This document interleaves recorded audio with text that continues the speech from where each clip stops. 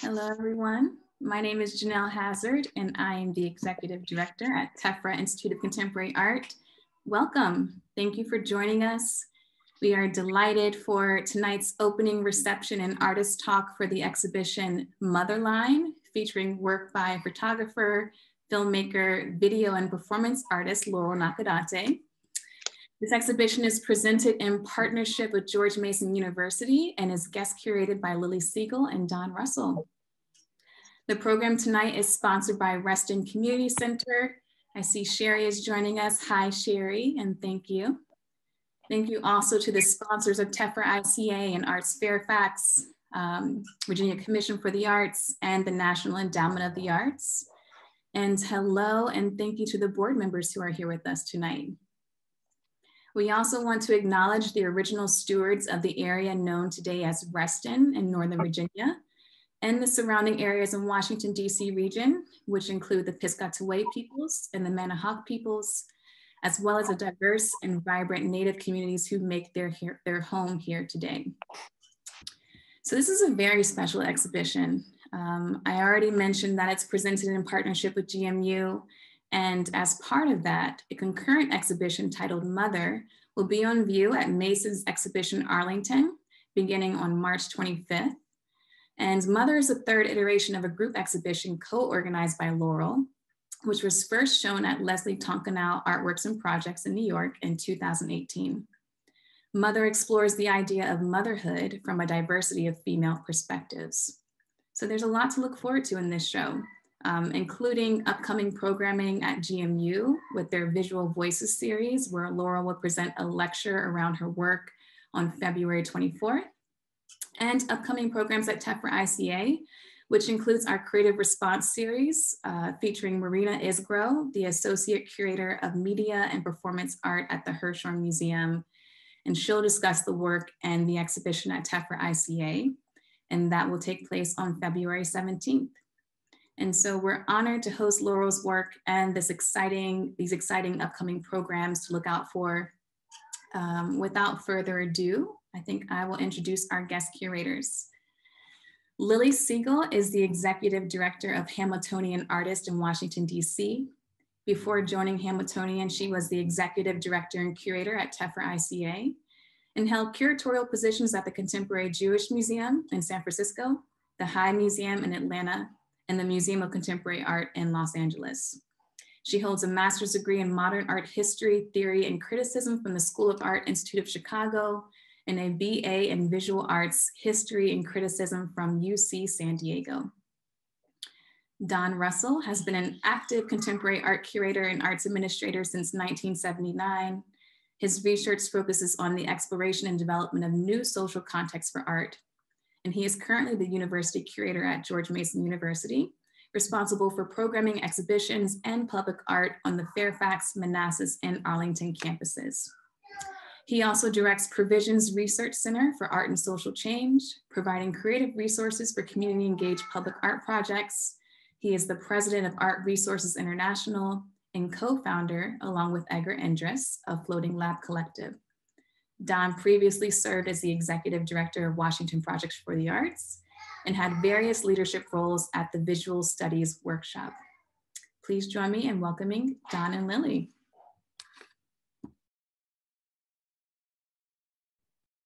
Hi, everyone. Good to see you and to see some familiar faces. And I especially want to say hi to Peter Winant, who was my first partner in crime and organizing this exhibition. Um, Peter and I had the conversations that led to inviting Laurel to work with us. So um, he's part of the reason we're here and very thrilled to be here and introducing Laurel and these programs. I'm going to share my screen to give you a sense of what the exhibition looks like at Tephra. Except now I have to navigate. Sorry, this never gets easier. Hold on one second.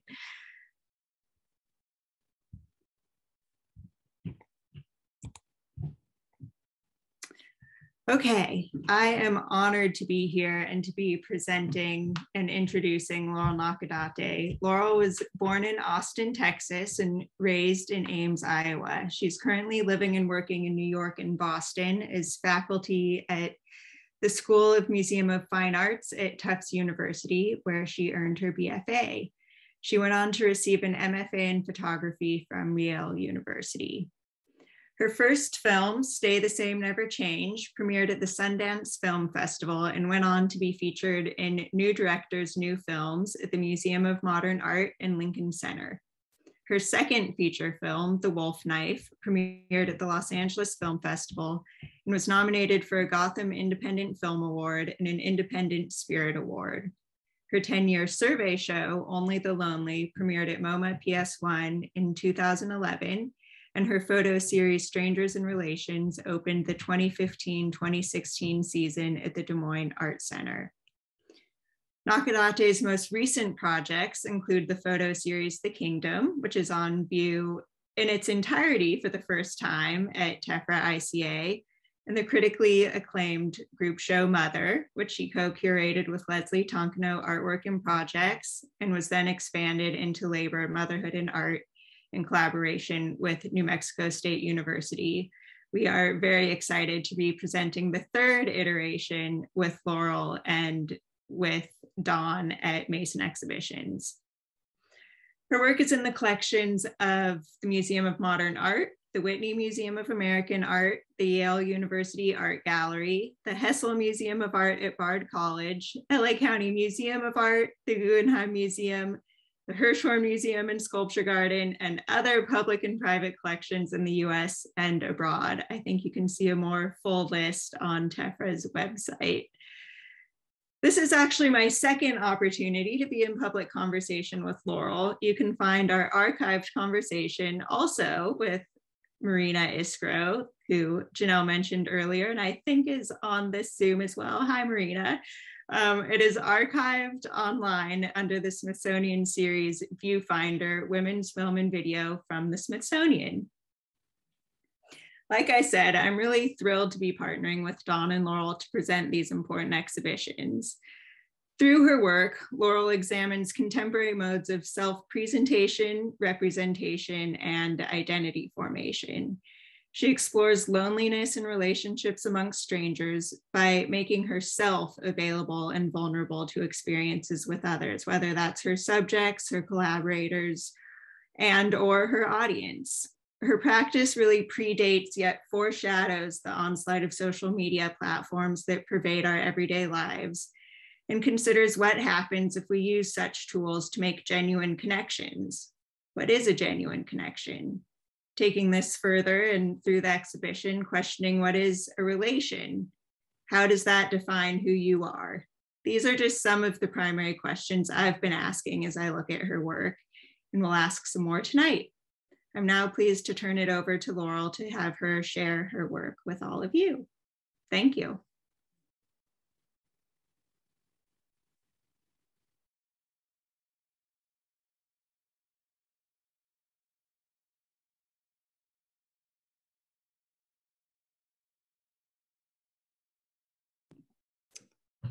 Hi, everyone. I'm going to go ahead and screen share as well. Also, never gets easy. Thank you so much, all of you, for coming tonight to this talk. It's so great to see so many familiar faces and names for people have their cameras off. Um, and thank you to Tephra and Janelle and the whole team there for putting on just from what I've seen from installation shots so far, a really beautiful installation.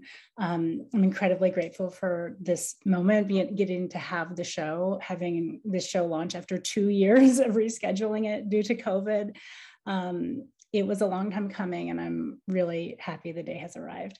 So thank you so much for having me. I'm gonna jump in and sort of um, start the conversation tonight um, around the work that's showing at Tephra. So um, shortly before I began this series, um, I had for one year um, created a performance in which I forced myself to cry every day. I made a self-portrait of myself, either shortly before, during, or after the act of crying. Um, so for a year, I took pictures of myself.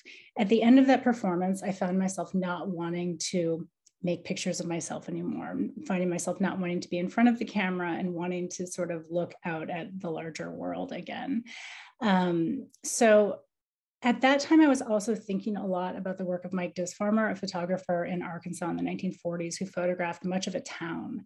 Um, I was thinking a lot about this idea, this sort of beautiful idea of strangers coming to you to be seen. Um, and so I decided that I would create a sort of outdoor um, photo studio for myself and I would travel around the country making portraits of strangers. Um, I began inviting strangers to meet me in remote locations at night. This is in Arizona. Um, I would put calls out on either, you know, at the time like MySpace, Facebook, um, any way I could get the sort of word out that I would be somewhere, and then I would invite any invite anyone to join me in that place. So um, here's here are some of those earliest photographs of sort of just meeting strangers at night and standing together and having this sort of moment of seeing one another and standing in these sort of darkened landscapes. Um, I grew up in the Midwest and um, there wasn't much to do in the small town that I grew up in. So one of the things that we would do as teenagers was just go out into the night together and sort of stand in the darkness in cornfields or sitting on top of cars or um, like anywhere that was free as a teenager. So I thought about that a lot when I was working on this project the idea that people could gather in darkness and have these sort of intimate, sort of, you know, human connections for free. Um, I ended up, you know, taking this project on the road eh, when I was um, traveling around for, you know, artist talks or whatever it would be. And I would just like put out a call and say, meet me in this place. And people would do it. And there was this generosity to it, this sort of trust that people would bring their small child in their pajamas in their rain boots and let me photograph them in the middle of the night in Marfa, Texas by the train tracks. There was this beautiful sort of human trust happening in that project. Shortly after, um, I guess it was probably about a year into that project, um, I took a DNA test. And I took a DNA test because my mother um, always believed that there had been a baby that disappeared from our family. Um, nobody really believed her. I think I sort of wanted to believe her, but also didn't want to believe her. Um, and this became the sort of point that my mother just like wouldn't move off of. So she said, let's all take DNA tests and maybe we'll find this baby through DNA tests. Um, we all took DNA tests and I didn't discover a baby um, when we got our results back. But what I did discover was that I had thousands of DNA relatives spread across America. Um, and so I decided in that moment that I would expand my project, which had been photographing strangers at night in remote locations, to photographing strangers who were my relatives at night in remote locations. So I went out on the road. Well, first, I sent really awkward emails to people. Um, and these emails would say, Hi, you don't know me, but according to your DNA test, you are my second cousin, third cousin, fourth cousin, whatever it might be. Um, and I'm an artist, and I'm wondering if you would meet me at night in a location of your choice near where you live so that I can photograph you. Um, and I got hundreds of yeses. Hundreds of people wrote back saying, Sure, I'll meet you. There's a park by my house. I'll see you on, you know, whenever you can make it.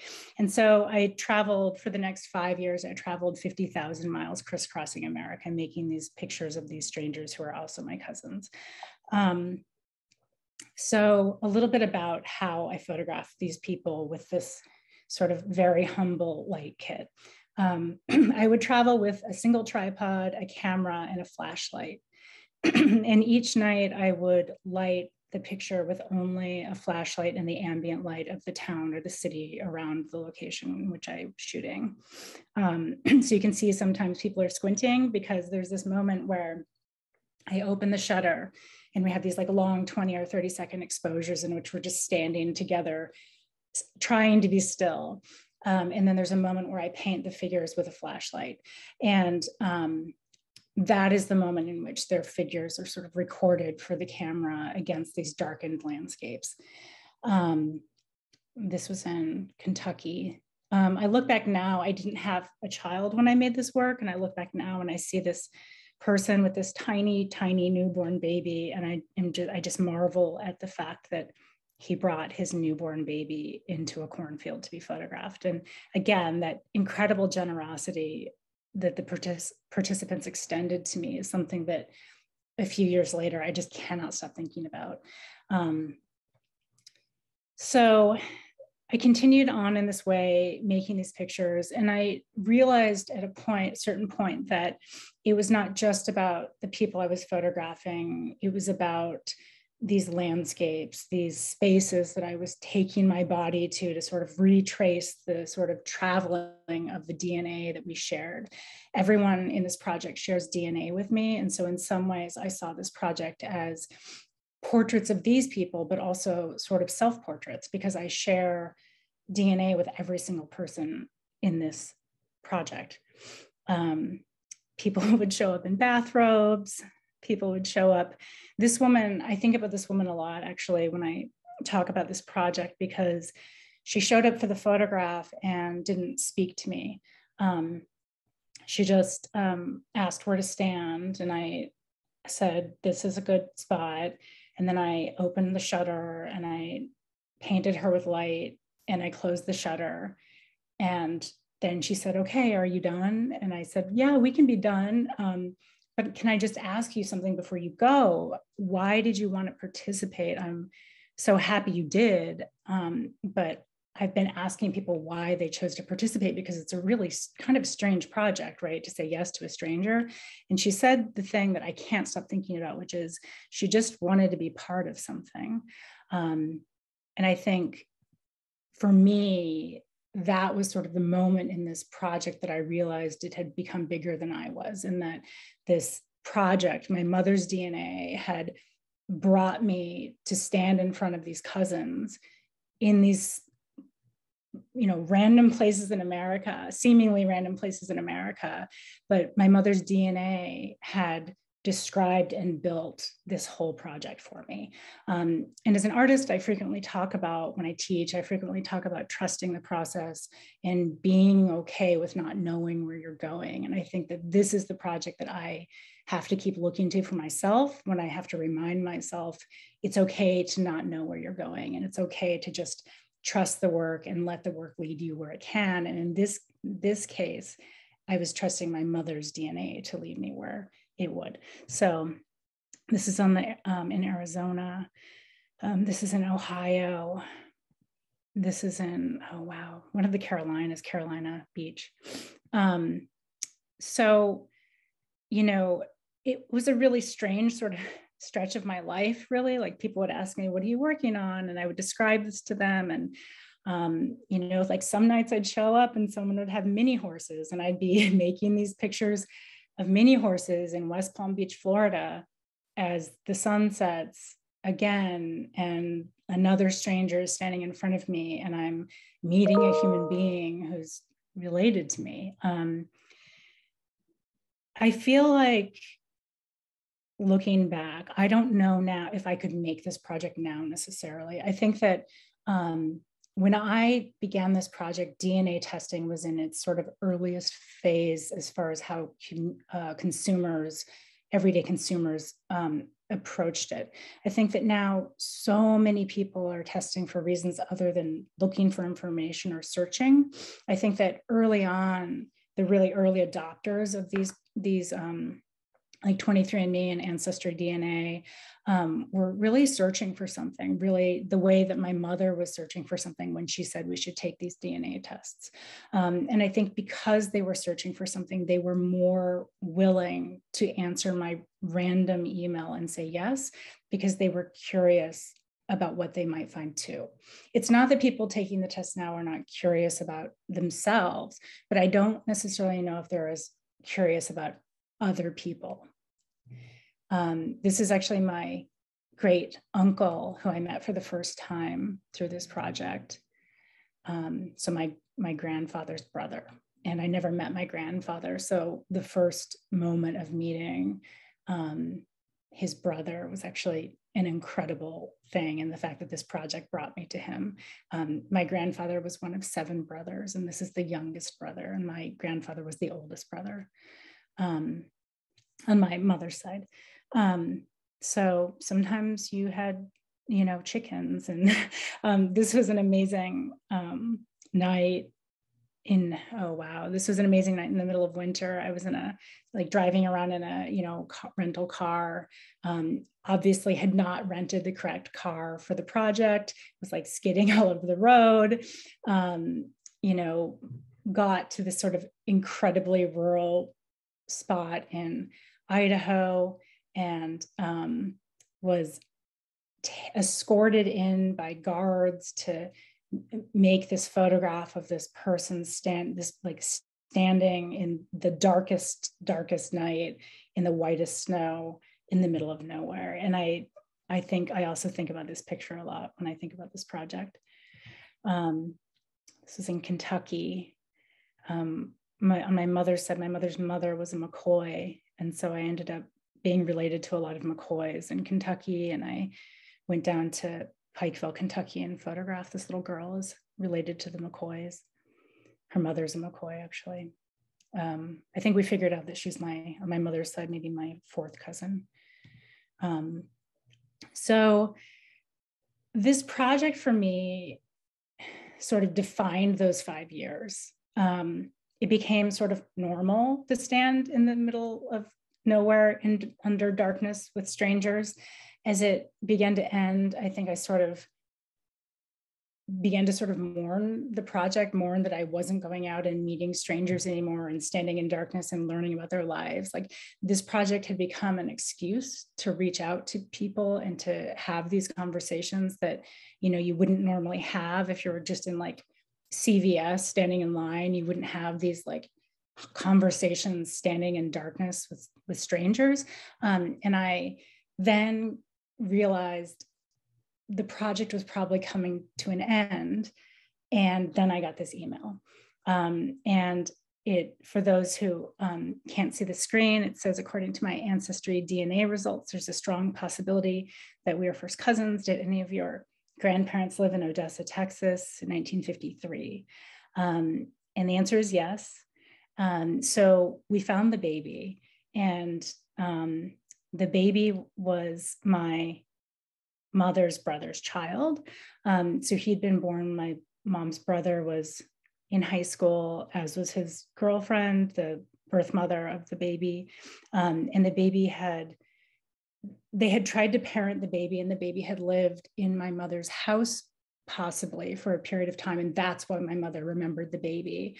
Um, and then the baby had ultimately been raised by extended family on the birth mother's side. So um, there was a baby all along, and there still is a baby. And I was actually able to meet the baby um, in real life right before the pandemic started. So um, unfortunately, at that time, my mother was really sick um, and was unable to like talk on the phone or anything like that. And I was nine months pregnant so I couldn't fly to see my mother and tell her this news. Um, so as soon as um, my son was born, I got on a plane and I flew to tell her that we had found the baby. And I told her we found the baby and she died two days later. So after this is actually this is the catalog of for strangers and relations for anyone who's interested in seeing all the work together um, outside of the show. Um, after my mother died and you know i was thankful that i was able to give her this information that the baby was real as she had always known. And you know in many ways the baby was the reason i had even taken the dna test and gone out to do the project. Um, and so after my mother died, there were many things I kept thinking about. One of the big things I kept thinking about was that because she had died before she could hold my son, um, I had no photographs of my mother holding my son. Um, around that time, I was also getting spam emails from someone trying to offer me Photoshop services. Um, and I'm a photographer, so I don't need someone to do Photoshop for me, but they kept sending me these emails that would go into my spam box. And I just started like reading them and they just wanted me to pay them to do Photoshop. And it felt like maybe this is an opportunity for me to collaborate with someone I don't know, another stranger. Um, and maybe they can, oh, and I should back up. The subject of the emails was we can fix anything. Um, and I realized that they couldn't fix the one thing I needed to have fixed, but maybe they could try. And so I began sending them photographs of my mother from throughout her life and photographs of my newborn son. Um, and I gave them one direction, which was place the baby in the woman's arms. Um, and so here you see my mother as a maybe 12 year old um, and my son in her arms. Um, here she is on her wedding day. My mother got married the first time before she married my father in her first marriage. She got married on her 17th birthday. Um, so this is her on her 17th birthday, on also her wedding day. Um, here she is uh, oh, and the interest, another interesting thing is that frequently the person doing the Photoshop would have to remove another baby to place my son in her arms. So in this case, they had to remove my brother from my mother's arms to place my son there.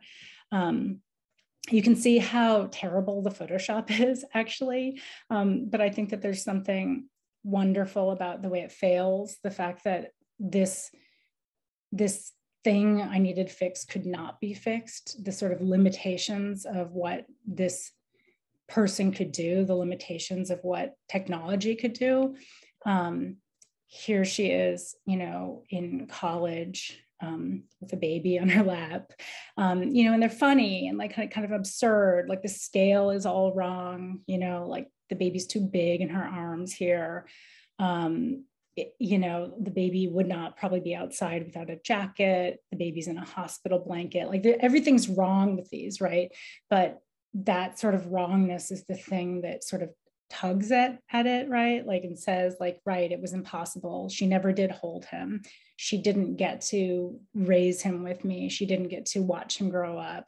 And the sort of failure of the Photoshop reminds us of that. Um, in this picture, they had to remove me as a baby from the baby backpack to put him there. Um, again, like, you know, the baby would never be at the beach.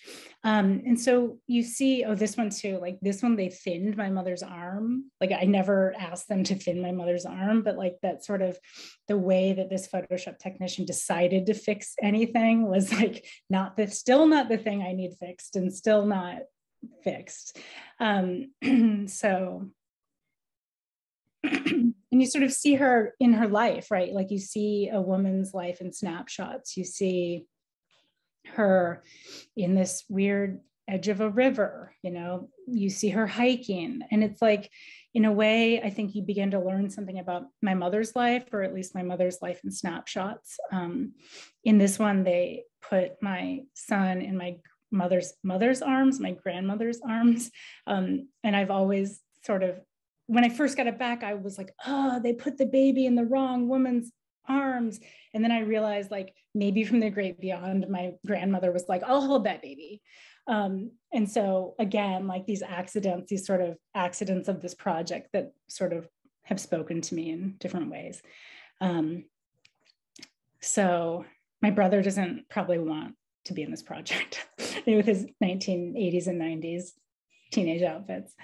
Um, so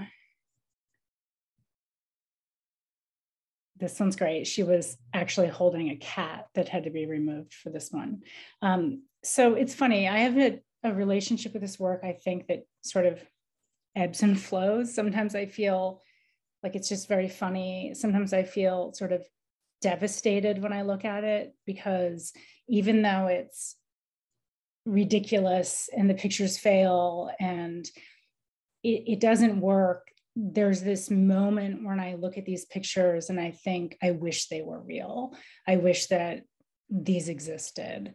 Um, you know, I wish that these could be in real life. Someone asked me once, Do you ever look at them and forget? And the answer is um, Yes, actually, this one, one time I looked at this and I was like, oh, that's us together. Then, like, for a beat, I just forgot that I don't have a single photograph of me with my mother and my kid at all.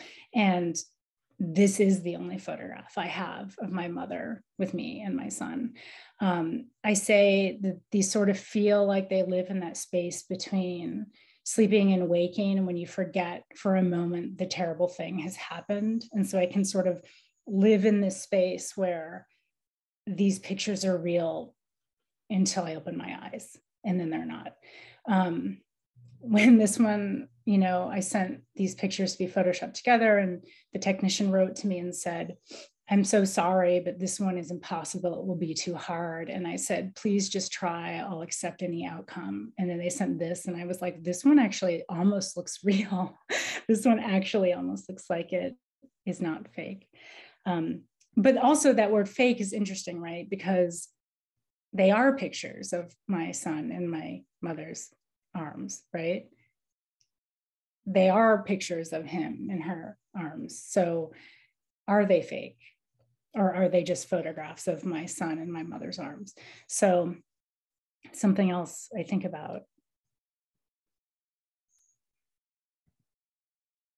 So again, you see her age, you see her sort of enter the end of her life. Um, this is one of the last photographs I ever made of my mother. Um, and this is among the first photographs of my son. And something I think about a lot is that the person who did the Photoshop photoshopped their hands together. Um, and so they're holding hands. And this was, if not the last, among the last pictures I asked for them to put together. And I think that it's possible the person who was making, who's doing the Photoshop understood in the end what I wanted, that they had traveled with me through 34 snapshots being put together, I guess actually double that, put together. And they had sort of lived through these requests over a period of time so that they, I think, it's possible they understood what I wanted, that it wasn't just about put them together. It was like literally have them live together. So um, be in the space together over time in snapshots, like have a life on camera that they couldn't have. So um, I think that that is where I'm going to end. Um, I'll stop sharing.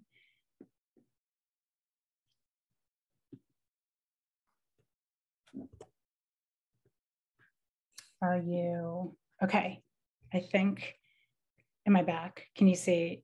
Okay, you're good. Okay. Um, that was great. Okay, really so yeah, so that's I think I'll end there. Um, I know I'll be giving a longer talk on a sort of 20 years of my work and not 10 years of my work um, at George Mason. So, yeah. Thank you.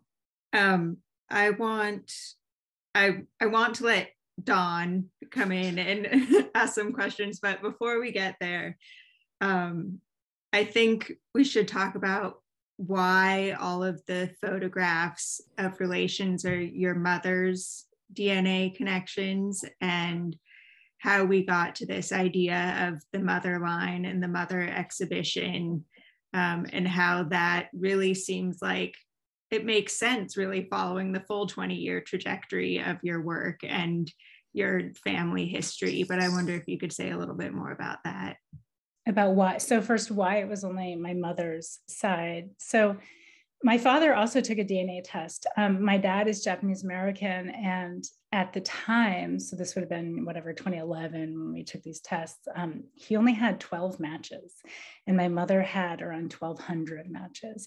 So um, there was that challenge.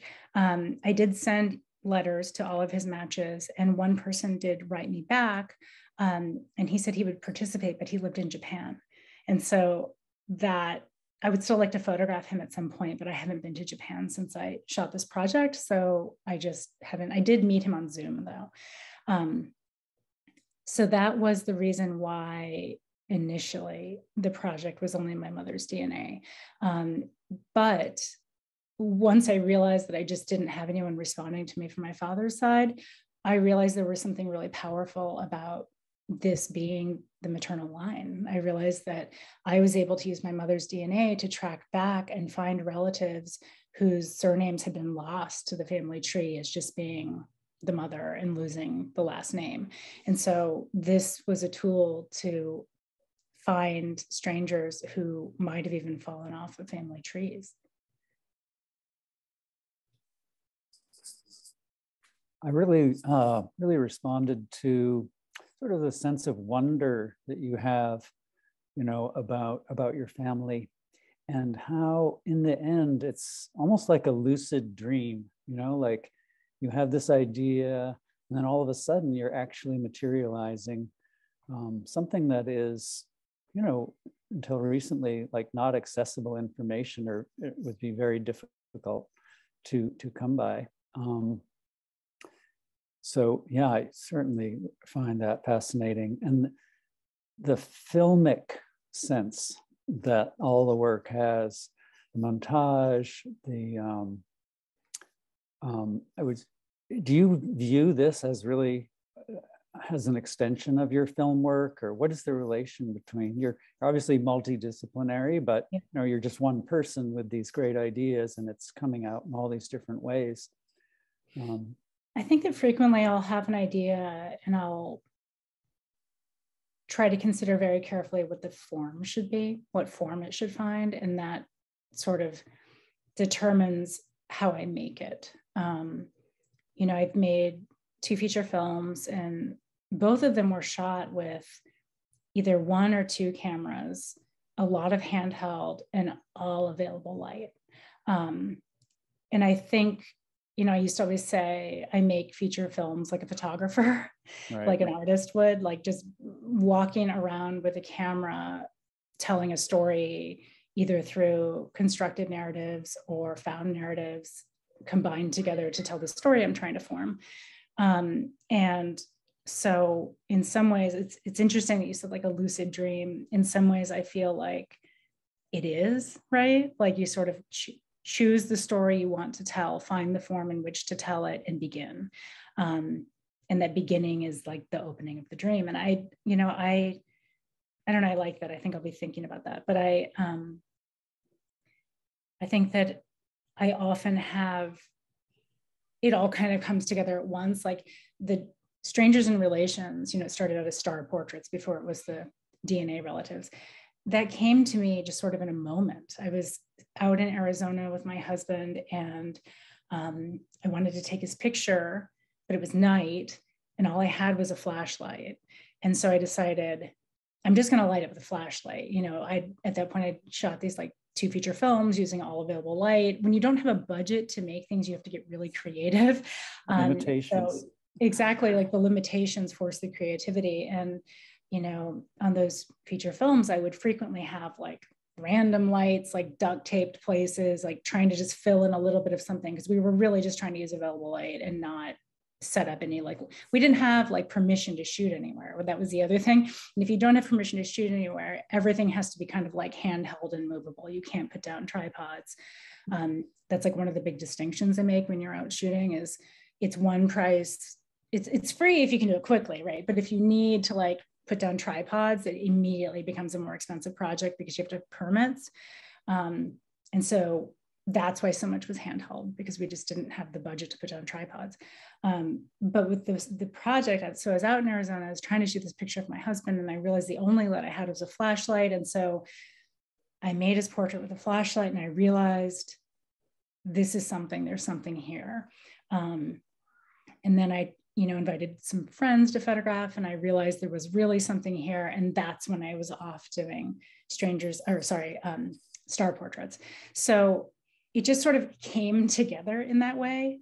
Um, and then with the kingdom, you know, so this the reason it's called the kingdom is that when my mother was really sick and I was very pregnant and I couldn't, I just legally couldn't fly. I was so pregnant and she was dying. And so the only way we could have a relationship at the end of her life was that my brother would go to the hospital and open up FaceTime and we would FaceTime each other. And um, she you know, when my son was born, she was still able to wake up. Um, and so she she couldn't speak very much, but she could wake up and she looked at my son, my newborn son, who was like three days old, with me holding him, like desperately trying to get his face in front of like the iPhone. And um, she looked at him. And then my brother had brought his daughter, and she was two at the time or one and a half. And she was Nora was sitting on my mom's lap and she looked at my son and she looked at Nora and she said the kingdom and that was the last thing she ever said to me and so that's that's why i called that piece wow. the kingdom which is like heartbreaking and amazing and like what is the kingdom what does it mean like what did it mean to her i don't know i think i know but um you know that's why i called that piece the kingdom because it felt like you know and now we have everything and nothing yeah it's very fulfilling yeah. yeah. So I don't know. I don't know if I'm answering any of your questions. No, no, no. This is great.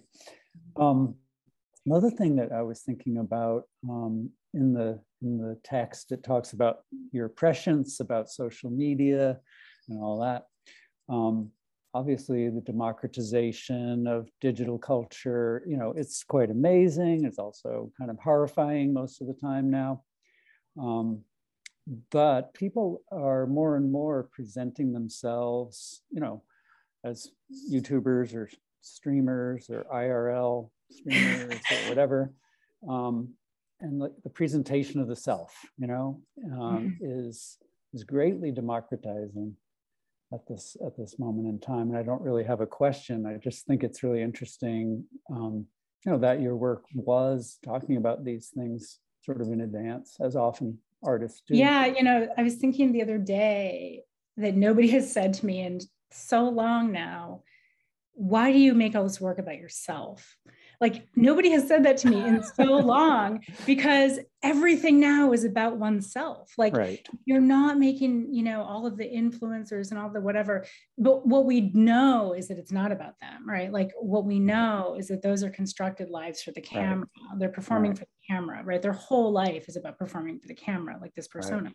But under the guise of being open and generous with, you know, but but they're not really right because they're performing for the camera right. they're performing for products or whatever it is which is its own interesting conversation to follow but sure. um, early on you know like all of my work was about making these connections with strangers like performing these you know constructed lives on camera um, it was about me being in the work people would just constantly say like why are you in your own work? Why are you in front of the camera? You know? Hmm. and now we wouldn't even think of it because we're so bludgeoned by the internet that it is expected that one has a selfie light you know? Like that's expected yeah. and okay now. So a ring light yeah. Where's your ring light. Yeah selfie ring light yeah um, this is something I think we've talked about a little bit, Laurel, and this idea of vulnerability and the private and the public, and how, you know, and talking about your early work and people asking you about why you were always making work about yourself. There is something about your performance, though, that still allows a recognition of your vulnerability and the way that you are putting yourself out there, maybe to gain the trust of your collaborators, your subjects, um, and thinking about how that's just different in the world of social media. People really are not being vulnerable, it's purely constructed in a way to hide vulnerability. And thinking about, um, you know, even as you were talking about using the flashlight to take these portraits at night, thinking about the inspection that one might feel standing in front of you as you're shining a light on them and you get to decide what you're focusing on beyond just the camera but also that you are bringing yourself to that location totally alone um, offering your person to them as well and just how that creates this different relationship than being alone in a room performing for 1000000s mm-hmm. um, yeah just a thought and really recognizing your openness in these projects and looking at the comments in the chat and thinking about how i think so many people can relate to the work that you're doing because you allow them to by saying it's okay to be vulnerable as well because you are. Yeah, I think that throughout my time of making work, um, I frequently just sort of decided I have to make this thing now and I will make it. And I will hope that other people will understand why I made it and that that recognition will be part of why the work had to be made. Um, and so I don't think I've ever really thought of it as generous. I, I mean, I, I'm happy that you're saying that it's generous. Um, I think that my desire to tell the stories was my the driving force to do the thing, to make the work, um, to want to want to see what would happen, right? Like as a photographer, to simply want to see what it would look like, like just to want to see what it would look like.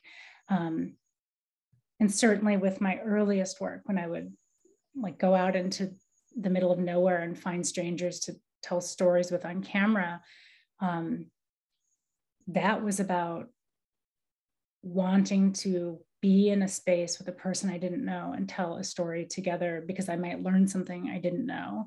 And I might be able to describe something about my own life that others might recognize in themselves or might identify with or might um, feel empowered to react to in some way. So That's generous. Yeah, maybe it's generous. Yeah. But I think there was also this sort of deep desire to tell a story for me that um, I guess if the end result was generosity, then that's good. Yeah.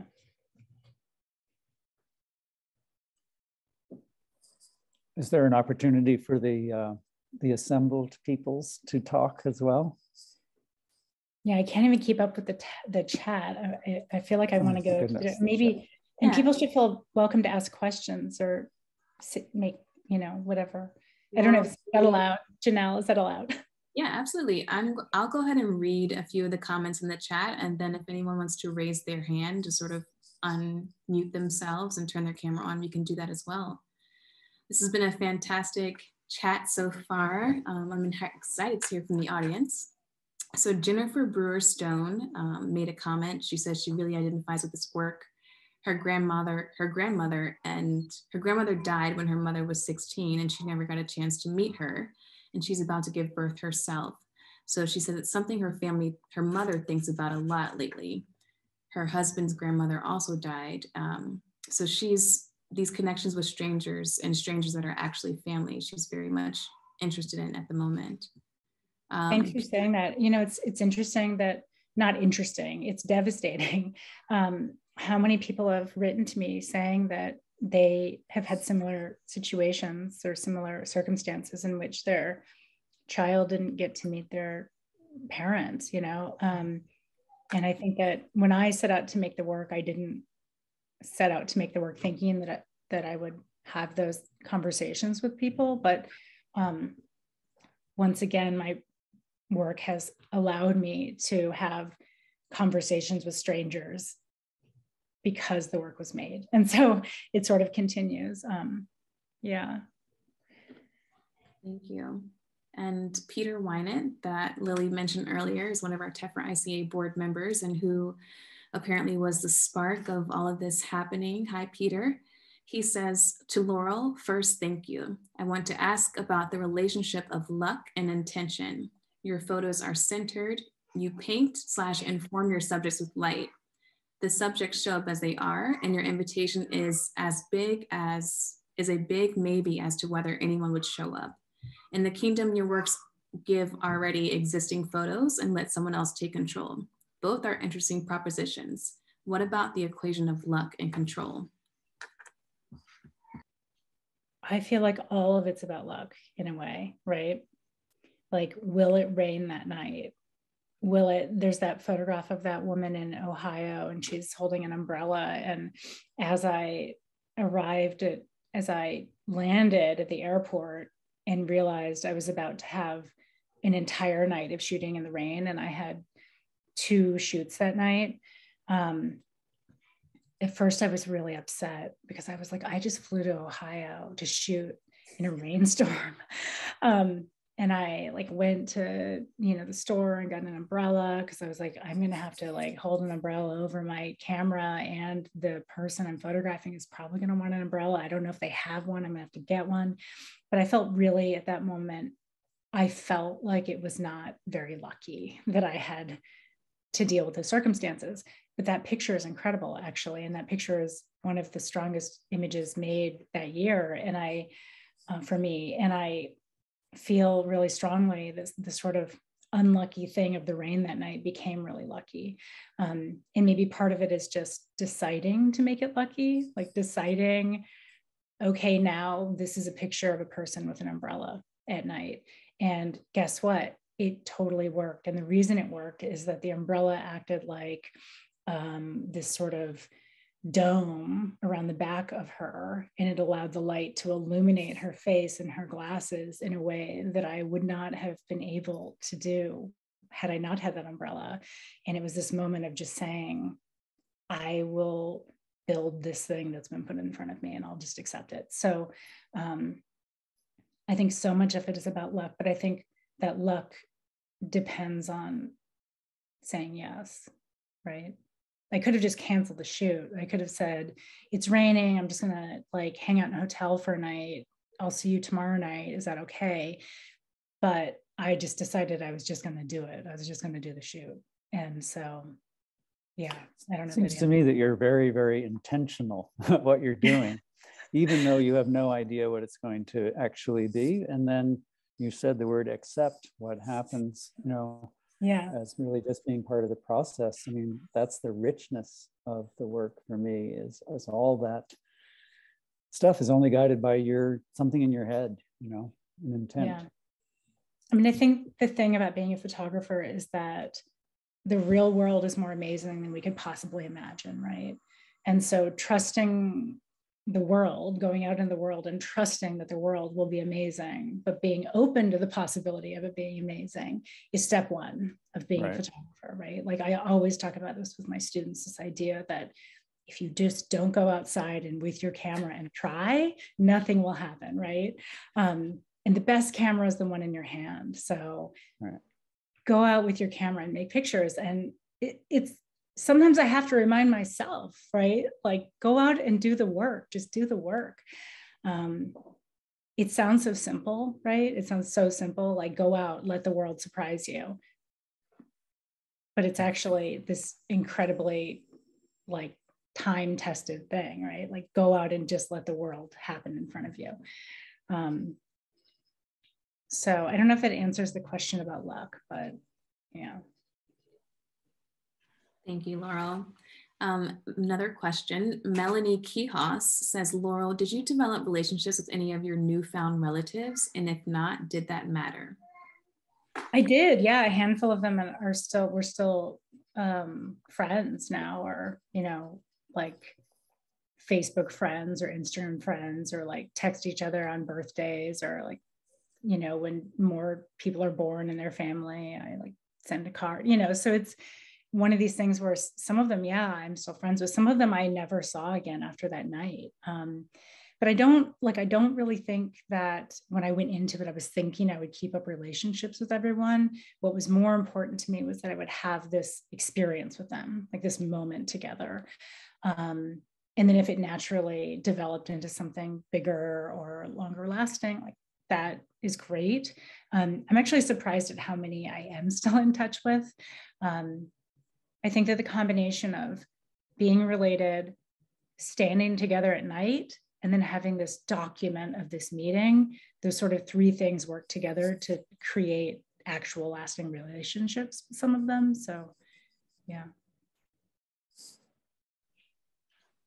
Thank you. Uh, Joe Bios asks or says, the evolution of your work is fascinating, thrilling. The earlier work is flush with under the surface danger risk. How would you account for your own artistic art? Arc. um, it's funny. I feel like, in a way, all the work is about the same thing.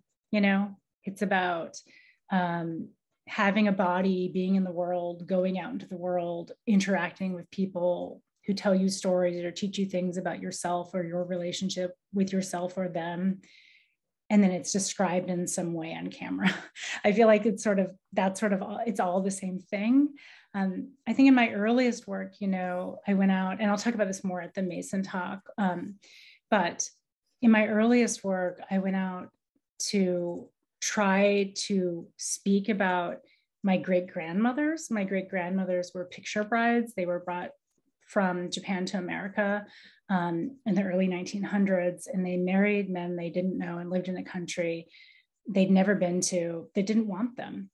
Um, and I wanted to go out and describe those relationships. And so I used myself, my body, to go out into the world to meet people I didn't know and to describe relationships on camera. And so without my great grandmothers and learning about their lives as picture brides in this country, I never would have gone out to try to make this work with strangers. And in some ways, I think that all of my work in some way is in debt to indebted to those great grandmothers trying to try on their lives, trying to think about what it would mean to marry a man you've never met and live in a country you've never been to, trusting, just completely trusting that this is going to work out.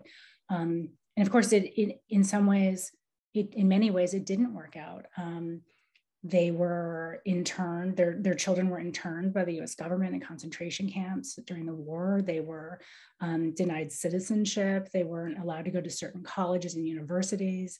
Um, but then here I am, right? Like I am the great hope that these women maybe hope for when they came to this country. And so I don't know if I, I, I think I wouldn't have made that work. I don't think I ever would have made that work. And I don't think I would have been the artist that I am, the type of artist that I am, the, the type of artist that questions my own relationship and identity with within the lives of strangers. Because when you grow up with that narrative like kind of always in the background or you grow up always sort of thinking about your own identity and relationship with other people it forms like a very specific way of being and looking at the world always feeling like other in some way or always feeling like you don't quite fit creates a position to stand in in which you can observe the world and begin to tell your story because you don't really feel like you fit in the big story and so I don't know. I don't know if that answers anything either, but I think that I look back now, the sort of arc of my my career, life, or my life in art, and I think I owe everything to them. Actually, I think that um, I don't think I realized it at 21 or whatever I was when I started making that work, but I realize it now. I think now I wouldn't have delved so deeply into my own identity or the identity of that I created on camera that bumped up against the lives of other people if I hadn't been thinking about their lives, you know. Yeah. Thank you. Uh, Lee Davis says, Laurel, thank you for sharing. I love hearing more about your process. As someone who used to travel to make images of my subjects, also DIY, and of many strangers before becoming a mother, I am curious about how becoming a parent has shifted the way you encounter your work. Has this shifted for you? Do you still wish to travel solo? And how has the process shifted? Also, COVID is definitely a factor. Yeah. Um, so before COVID happened, I was um, about a year into shooting a documentary feature film um, that I hope to finish. I might just find a different way to finish it. I don't know. I don't know how I'm going to finish it at this point. I know I will. So when I say I don't know how, it's just the more that I don't know how I will finish it, but I will. Um, but I just put my my son in a baby backpack and I went and shot my film. Um, you can hear him talking in the background of a lot of my shots. Um, it's a documentary about my mother's life. It's, it sort of, you know, at, after I finished Strangers in Relations and in the Kingdom, um, first I thought or hoped that I was sort of done with the material and that, you know, I had made this work, the Kingdom project in the wake of her death. And I thought, well, like, now I'm just going to go make something else. But I couldn't stop thinking about her life. And then I started sort of scratching the surface of my great grandmother's life, who uh, my middle name comes from her. And I found out some really thrilling and strange and bizarre information about her life. And so I, um, while I was doing that, I had started going to every house my mother ever lived in. I wrote a letter to every single house my mother ever lived in. It was like many dozens of homes. Um, and I started going out and interviewing the people in these homes. And so it was this portrait of my mother, of this house, of the people living there now, of a neighborhood, of um, America, of all of these things, these people and all of these, these places. And while I was doing that, COVID hit. And so um, I think I will finish it. I hope I will finish it. I don't know if I'll finish it in exactly the same way. I don't know that it needs to now, because in a way, this project that I started before COVID can never be right like that project now i've realized can never be in the exact same way um, it will have to address the fact that half was shot before covid and half will be shot in whatever the world is when i can go back out to shoot again um, but yeah in some of the shots you, hear a baby on my back saying I want a snack, you know. Mm-hmm. Um, but it's okay, I think, because the material is about my mother and it's about my family. And I think it's okay for an artist to be a mother and have their child on their back, you know. And if that's the way the work has to get made, then that's the way the work has to get made. And I think that also, you know, people who are parents who make art need to or should maybe we should all just agree that it's it's okay to be visible. Like it's okay to parent in public as an artist. Like it's okay to say this really important person in my life is on my back right now and it's okay. Like we're all okay with that. Um, and that's part of why you know i wanted to make the mother show. I, um, you know when i first asked leslie if we could do this show um, you know i think it was a real risk for so long in the art world and even now i think in the art world like um, you're not really allowed to talk about your children or to have children. And it sort of enraged me. And i think that part of what happened after my mother died is i was in that sort of free fall people are in when you lose a parent and you're just sort of so lost in it that you remove all boundaries. And so I was in this sort of free fall where I was like, my mother's dead. I just had a child. I have no witness to what's happening in my life right now. So I'm going to co-curate a show on mothers in the art world, you know? Um, and it was a really weird choice. And um, it sounds funny now because even since 2018 to now, I feel like there's so much more support, so much more support since 2018 even. And that's not that many years ago. But I think when we launched that show, it was a real risk, like to say, I'm going to make, you know, and I'm going to make a, a show in which we talk about mothers and motherhood. Like, so um, I'm glad now that it doesn't really feel as risky. Like, as we approach the third version of the show, um, now it kind of feels like a celebration. I'm not as scared to show that work. Like, I feel really just excited about it. Um, but when Leslie and I launched the first version in 2018, I was like, this could be, this could go really badly, you know?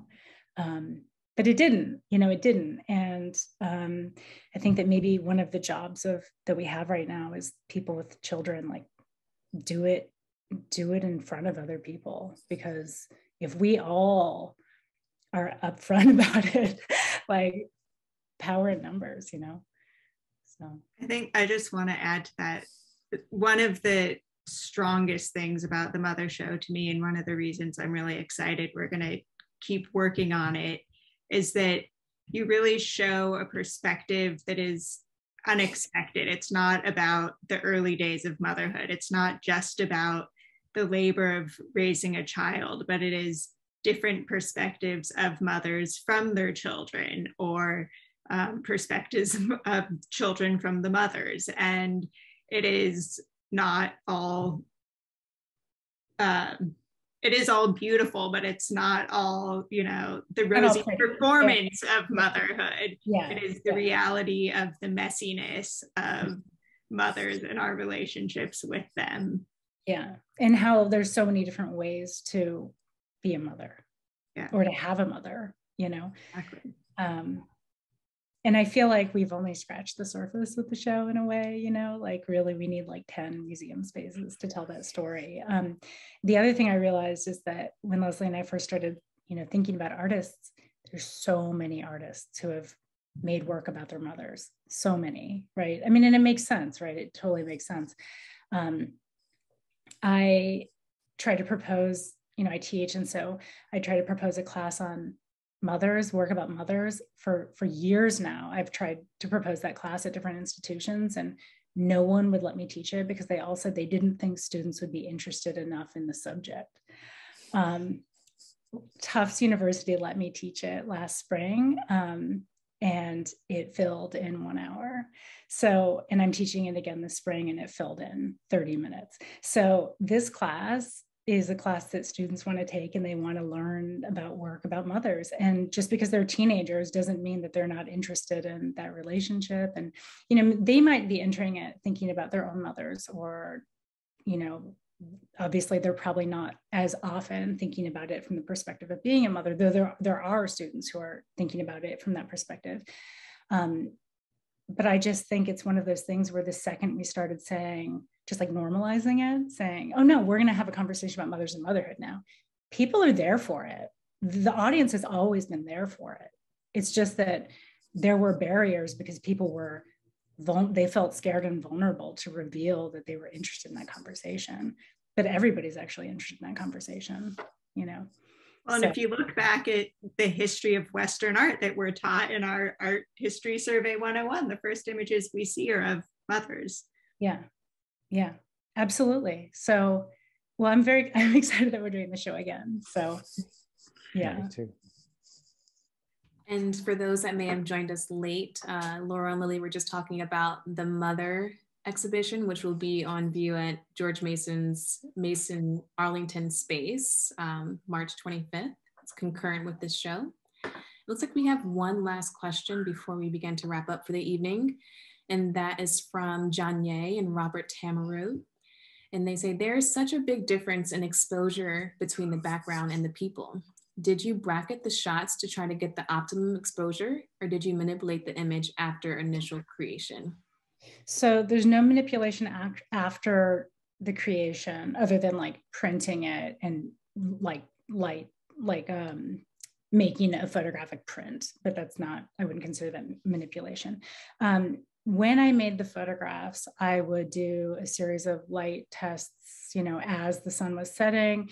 I couldn't shoot the pictures until it was so dark that we couldn't see one another because if it was too light, the backgrounds would be just way too light when it was dark enough to describe the person with a flashlight. So for photographers out there, I would open the shutter, it would be like 15 to 30 seconds exposure in that moment, I would quickly use a flashlight to light the subject, and then I would close the shutter.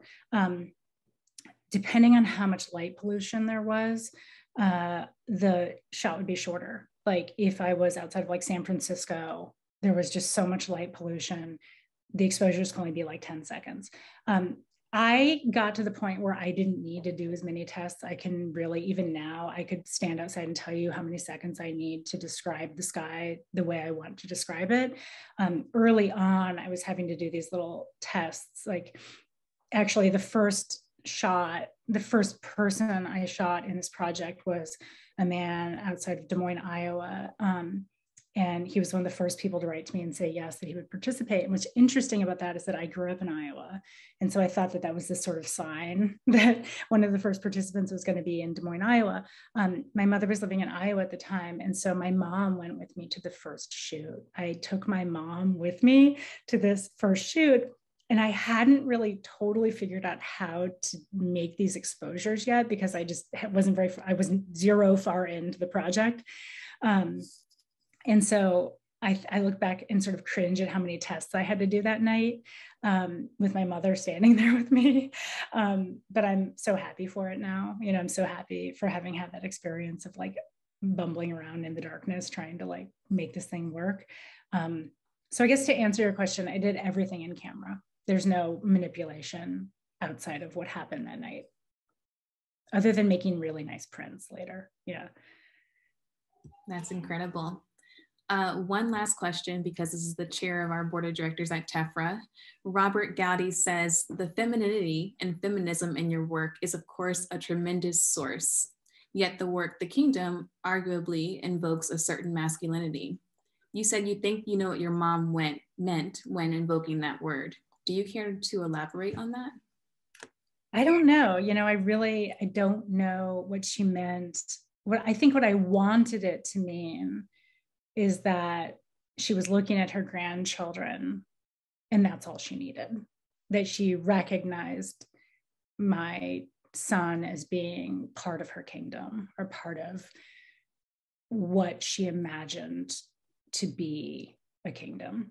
I think that's what my heart wants it to be. Like, I want it to be that she recognized my child because she was so sick at that point that, you know, she was FaceTiming with me, but I didn't know if she was really recognizing you know what was going on. And when she said that i i feel like or maybe my heart wants to believe that like she saw him and she recognized him as being making our family whole you know?